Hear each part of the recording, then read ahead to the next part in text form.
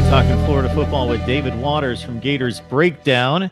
And uh, what a messy situation uh, that caused the suspension of nine players. Jordan Scarlett would be the headliner there. We don't need to get into those issues. Uh, if you if you want to backtrack and check it out, just go to uh, any of the audio platforms that Gators Breakdowns on, as well as YouTube, and uh, check out those episodes going back uh, to last season.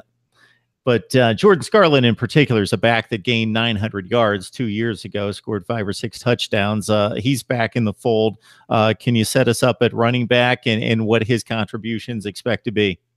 Yeah, Florida's really deep at running back, Mark, uh, but, you know, led by Jordan Scarlett, who had the, the second half of the 2016 season. Everybody remembers that LSU game where Florida went to Baton Rouge and uh, and won a game where, to capture the SEC East, and a lot of that was to do to, to Jordan Scarlett and his – uh, tough running. And, you know, I, I, like to see what Jordan Scarlett could do when he's not facing defenses that are stacking the box time and time again.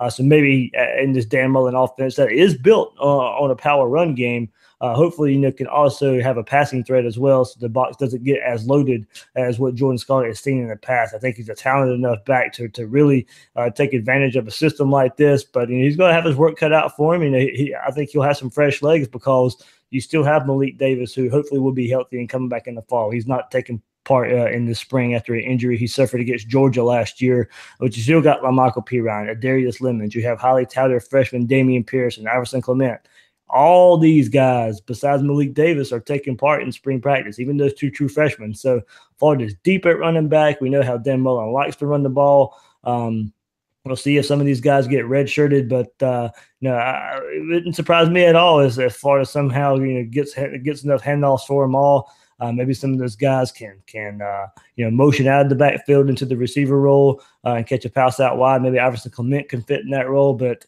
I really like true freshman Dameon Pierce, who's one of my favorite recruits from this past re- recruiting cycle. He's going through it. He's got the size. Uh, he's got the speed. I think uh, he, him and Adarius Lemons are, are, two guys that you know we haven't talked a lot about. Uh, but I think when the spring game rolls around and those guys get a lot of carries, just because you, know, you want to see what these young guys and these backups can do, those are two guys to really look out for.